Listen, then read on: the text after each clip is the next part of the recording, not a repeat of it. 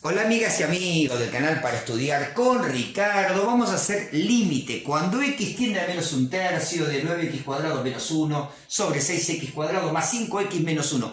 Este límite nos da una indeterminación 0 sobre 0. Déjame contarte algo. Dentro del canal entra por lista de reproducción, buscar límite. Vas a encontrar de estos cientos de ejemplos ¿eh? y hechos de distintas maneras.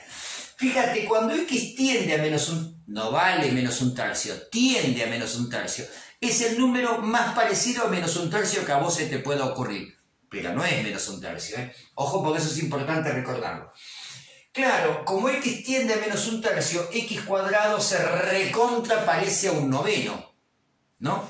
Menos un tercio al cuadrado da un noveno, pero claro, x no es menos un tercio, x tiende a menos un tercio. Así que x cuadrado es el número más parecido a un noveno con el que te has topado en tu vida, que multiplicado por 9 te va a dar un número súper parecido a 9, restado 1, esto tiende a 0, no vale 0, tiende a 0.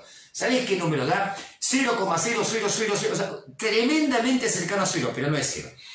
El denominador, fíjate que ocurre lo mismo acá. x al cuadrado tiende a un noveno, o sea, eh, si es recontra parecido a un noveno, tenemos 6 por un noveno. Acá x tiende a menos un tercio, ¿no? Multiplicado por 5 tiende a menos 5 tercios. Bueno, eh, fíjate acá, al 6 lo divido por 3, me quedan 2, al 9 lo divido por 3, me quedan 3, o sea que me quedó 2 eh, tercios menos 5 tercios. 2 tercios menos 5 tercios, claro, hago 2 menos 5 me da menos 3. Menos 3 tercios, o sea, menos 1.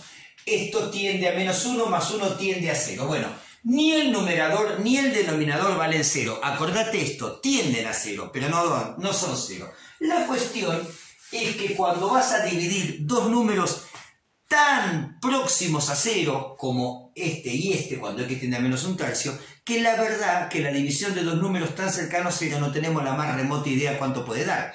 Así que tenemos que salvar esta indeterminación porque el numerador tiende a cero y el denominador tiende a cero, con lo cual el cociente no tenemos la más remota idea de para dónde se dispara. Para eso es bueno factorizar numerador y denominador.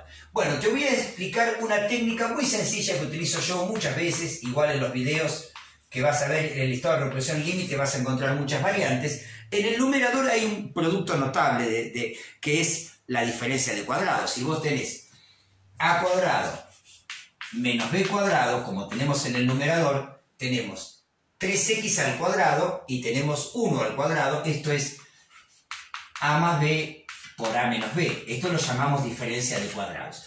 Quiere decir que el numerador es factorizable como 3x menos 1 o más 1 por 3x menos 1. Bueno, ¿por qué es esto? Porque 3x es la raíz cuadrada de 9x cuadrado y 1 es la raíz cuadrada de 1, tal como nos enseña la diferencia de cuadrados.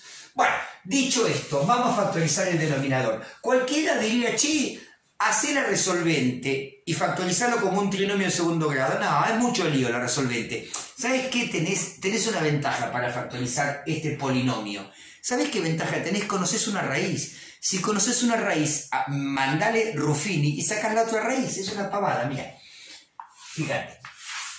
Eh, hagamos Ruffini. 6 para el x cuadrado. 5 para la x y 1 para el que no tiene x. Acá le mando menos un tercio, que es la raíz del polinomio. ¿eh? O sea que al polinomio lo estamos dividiendo por x más un tercio. ¿eh? Y vamos a ver cuánto da de resultado. Con resto 0 va a dar, así que bajo el 6. Menos, menos un tercio por 6. Menos un tercio por 6. Al 3 lo dividís por 3 te quedan 1, al 6 lo dividís por 3 te quedan 2. Menos 2 da.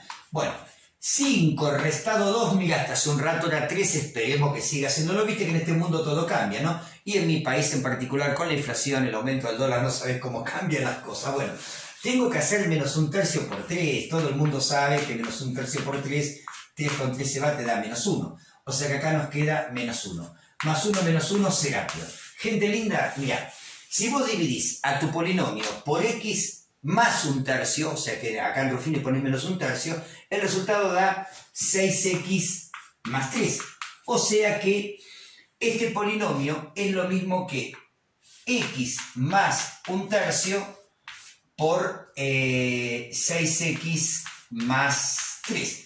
Bueno, dicho esto, dicho esto, eh, vamos a buscar ahora de poder cancelar aquellas cuestiones que nos hacen que dé 0 sobre 0. Que yo lo estoy viendo, está aquí y aquí. ¿Ves? Cuando x vale menos un tercio, hace que este valga 0 y si x vale menos un tercio, hace que este valga 0. Bueno, la cuestión es que menos un tercio no es raíz de, nada, ¿no? Menos un tercio es directamente el número al que tiende x. x no vale menos un tercio. Bueno, ¿qué hago acá? ¿Ves que tenés 3x más 1 y acá tenés x más un tercio? Bueno, saca factor común 3. ¿Cómo, Ricardo? Si no hay factor común 3, siempre hay factor común. Siempre, siempre. Mira, ¿cómo se hace? 3x dividido 3. Eh, eso me da x. 1 dividido 3, me da un tercio. 1 dividido 3, hasta hace un rato es un tercio, esperemos que lo siga haciendo. Y acá 3x menos 1 y en el denominador x más un tercio por 6x más 3. Gente linda, x más un tercio no vale 0, tiende a 0, ¿eh? porque x no vale menos un tercio, sino que tiende a menos un tercio. Como x más un tercio no vale 0, sino que tiende a 0, eso es importantísimo. Este número y este número son dos números iguales y distintos de 0. Cuando dividís dos números iguales distintos de 0, ¿cuánto te da? 1. O sea que estos dos números divididos dan 1 gracias a qué? A que x no vale menos un tercio. Porque esta división solamente existe si x no vale menos un tercio. Y x no vale menos un tercio, tiende a menos un tercio. O sea, estos dos números son iguales, son recontra parecidos a cero, pero tengo la certeza de que son iguales. Bueno, si x tiende a menos un tercio, ¿qué me queda acá entonces? 3, este 3, ¿no? Por 3x, claro, como x tiende a menos un tercio, 3x, fíjate, 3 por menos un tercio ¿cuánto te da? Te da menos 1. Bueno, como x tiende a menos un tercio, 3x es recontra parecido a menos 1. Y menos 1, menos 2. Vamos al denominador, vamos al denominador. 6 por menos un tercio. Ojo, x no vale menos un tercio, tiende, o sea, recontra parecido a menos un tercio. 3 eh, dividido 3 da 1, 6 dividido 3 da 2. Esto da menos 2. O sea que sé que tiende a menos 2. Menos 2 más 3, 3 menos 2, 1. O sea que esta indeterminación nos quedó menos 6, gente linda.